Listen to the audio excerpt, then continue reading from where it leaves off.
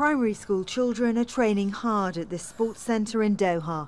They should be looking forward to the biggest event in their sporting calendar, the British Schools in the Middle East Games. But organisers have told head teachers in Qatar that because of the Gulf diplomatic dispute, children will not be allowed to take part. Hundreds of children are disappointed by the ban, which raises questions about whether sport, education and politics should mix. It was my dream to be in BSME and I've only been to it once, so I really wanted to go to it twice, but I can't.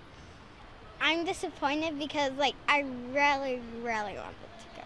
It's gutted because I didn't get in last year and I really wanted to try get in. It's an experience.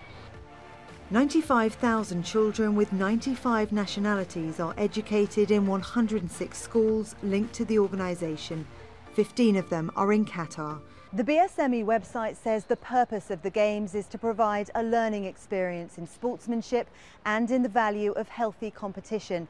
But critics say by excluding children as young as eight, the organisation is not living up to its own ideals.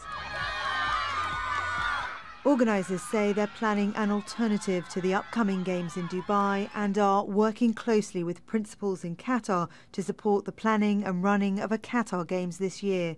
This will provide the opportunity for BSME schools in Qatar to participate in a significant organised event. Parents say that while they appreciate the effort, it won't be the same. It's a bit of a disgrace as an expat, the way they've let politics get involved with sports. Uh, it shouldn't be allowed, you know, and I think uh, they've got to really think about what they're doing.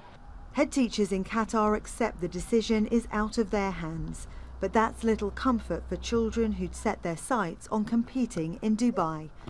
Victoria Gatenby, Al Jazeera, Doha.